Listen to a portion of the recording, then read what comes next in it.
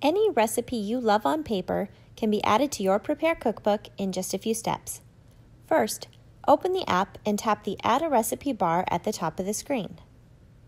Choose the top option, Add Your Own Recipe, and you'll arrive on the recipe creation page. If you have a picture to upload, tap the photo field to access your camera roll and select a picture. Press Done, then fill in the text fields. Start by typing in the name of your recipe. Then type the ingredients line by line.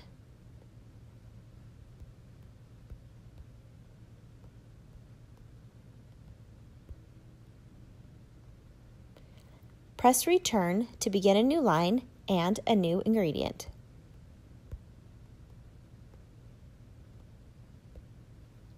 If you have more than one group of ingredients in a recipe, for example, ingredients for a sauce that you want to keep separate, tap the field that says Separate these ingredients into groups. You'll have the option to name your ingredient group.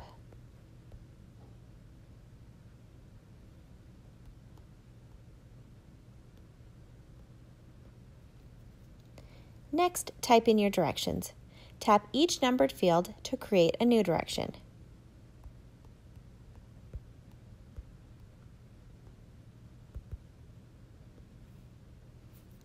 If you need to, use the field called Separate these directions into groups, just like you did for the ingredients above. The Notes section is an optional space for you to include cooking tips or other thoughts that only you will be able to see. Next, select the course type for your recipe. You can select more than one course if you like.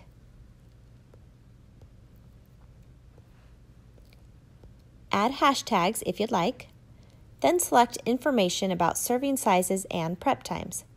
Tap each field to see a rolling display of serving sizes and times to choose from. Make sure you tap the blue Select button to record each value. Lastly, Review your privacy options for your recipe. Most users decide to keep their recipe setting public so other home cooks can enjoy their recipes. All done? Tap Save in the top right corner of your screen, and your recipe will be added to your cookbook. You can always come back to it later to add a new photo or edit your recipe.